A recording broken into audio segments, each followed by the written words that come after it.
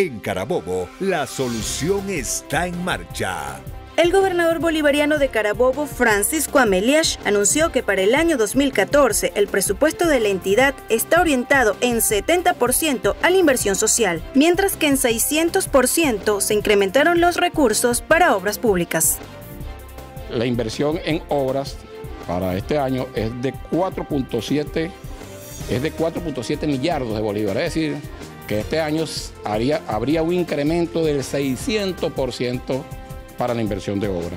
Pero en el presupuesto ordinario, con respecto a la inversión social, el aumento es del 70%. Yo le doy las gracias al gobierno nacional, al presidente Nicolás Maduro, por todo el apoyo que estamos recibiendo y sabemos que vamos a contar con su apoyo para el beneficio de todos los carabobeños y todas las carabobeñas luego de consultar más de 1.206 consejos comunales de la entidad para conocer las necesidades más sentidas de la población. A diferencia de la nefasta gestión pasada, el presupuesto para el ejercicio fiscal 2014 atenderá obras públicas de gran relevancia aprobadas en el gobierno de la eficiencia en la calle, fortalecimiento de la red hospitalaria, dotación y mejoras para la policía regional, ayudas sociales, aumento salarial para los maestros, pleno funcionamiento del PAM y masificación deportiva.